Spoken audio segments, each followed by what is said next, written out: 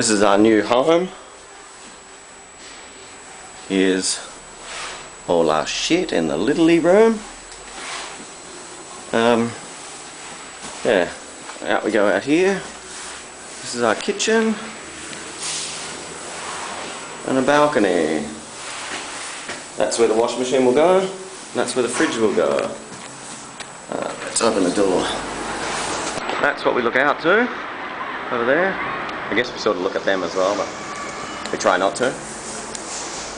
And uh, yeah. So gas range is going to go in there. You can see the people before us uh, didn't clean whatsoever. It is absolutely filthy. There's parking in there going to the bathroom. And here's the wallpaper guy. That's our bedroom in there. There's booking. Say hello. Nope, not today. Okay. Here's our uh, other balcony. That's where we hang our clothes. And it's a bedroom in there. There's sort of a closet. This is going to be our cocktail bar. It's our sofa from Matt and Rachel.